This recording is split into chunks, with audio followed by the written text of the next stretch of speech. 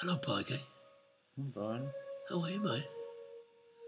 Well, here we are. We we find ourselves again at the studio at my house. And, uh, where did you get your haircut?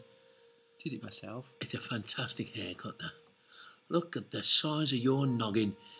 It's got its own gravity system, its own planetary orbital system around that noggin to fit all them brains in.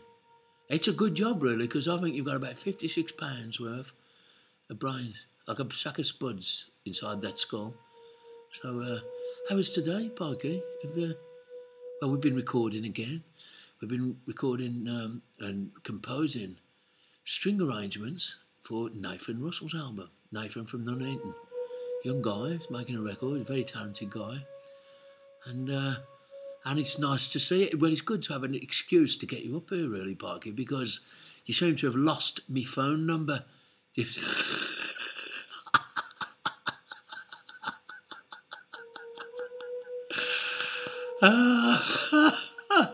Like, like I was saying, you seem to have lost my phone number, Parky. You never call. You never come round and see us. All you're interested in is Belgians and people from Cambridge, and that's where you are all the time.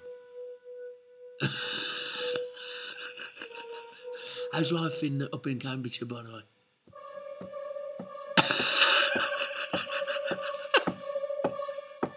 yeah, I get it. I see. Yeah.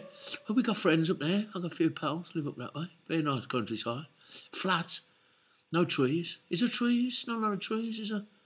Very flat. But, um, well, it's lovely having you down here at, um, at, at Travers Towers again. They're all very happy to see you at the back there. And uh, you've had dinner. Are you, are you hungry? Do you need it? Would you like anything else to eat? No? Would you like to do some work? Get on, do some more music?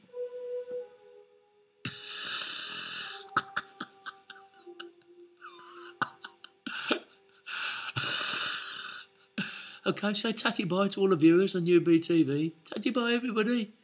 Tatty bye.